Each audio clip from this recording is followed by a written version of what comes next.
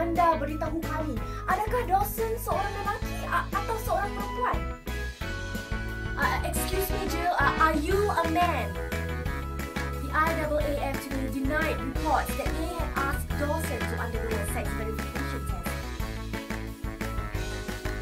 Jill, your peers have claimed that you are not a woman. Do you have any comment for that, Jill? Jill, any comment? Any comment? Any comment?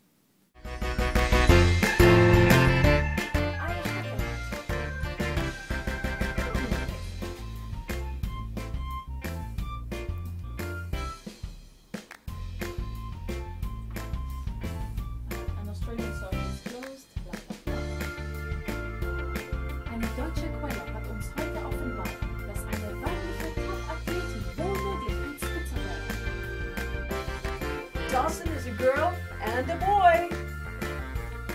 Stay tuned as we bring you more on the shameful case of Jill Dawson. So what do you think, David? Is Dawson a boy, girl, or other? It has been reported